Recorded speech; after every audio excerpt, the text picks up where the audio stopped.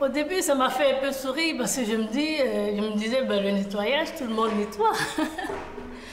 C'est comme ça qu'on pense au départ. Il faut aimer à la base parce que une fois que tu rentres dedans au départ et que tu apprends à connaître le métier, ou tu t'enfuis, et quand tu restes, il faut l'aimer. Parce que si tu ne l'aimes pas, tu le subis. Et si tu commences à le subir, tu arrêtes tout de suite, change, pas faire autre chose. Sinon, tu vas te rendre malheureux toute ta vie.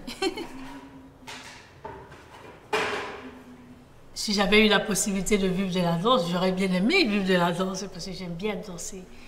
Mais ça, ça ne m'empêche pas de faire autre chose et avoir la danse à côté. j'ai toujours fait ça depuis que je suis petite. Donc